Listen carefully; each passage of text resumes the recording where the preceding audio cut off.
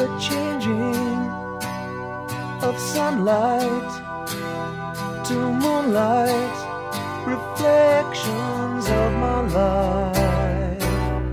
Oh, how they fill my